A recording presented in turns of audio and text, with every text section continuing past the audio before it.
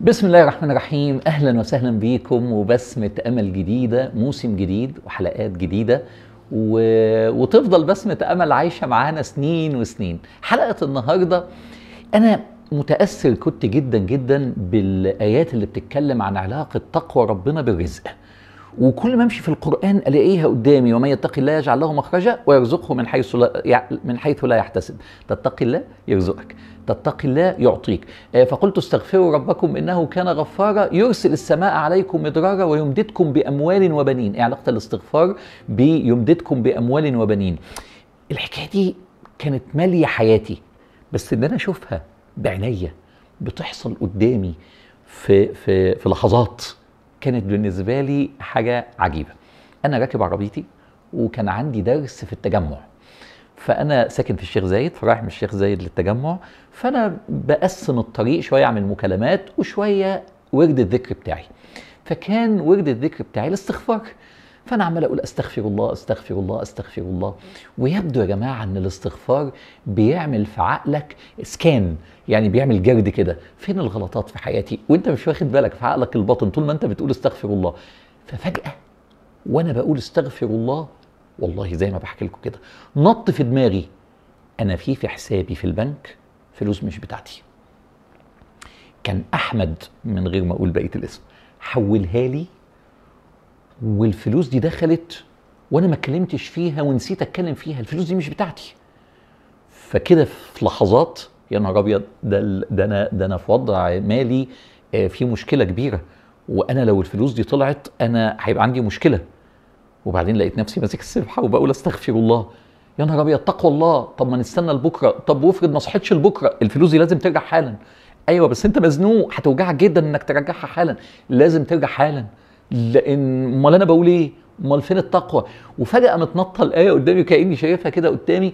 ومن يتق الله ويرزقه من حيث لا يحتسب. قمت رافع التليفون وقفت وجد الذكر سبت السبحة وقلت لا في حاجة أهم لازم تتعمل دلوقتي حالا. وقمت طالب أحمد.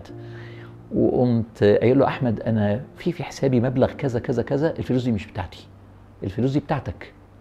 فهو انبسط جدا وقال لي يا سلام. أنا متشكر جدا. أنا كنت ناسي الموضوع ده. قلت له لا مش متشكر جدا ده حقك. بس ممكن أطلب منك طلب؟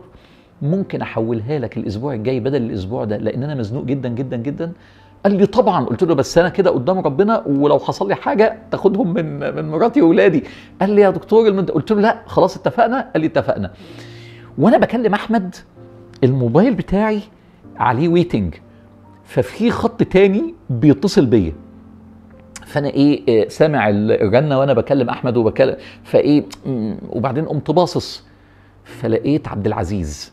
عبد العزيز ده بيكلمني من بلد تانية. فايه يا ده ما كلمنيش بقاله سنة.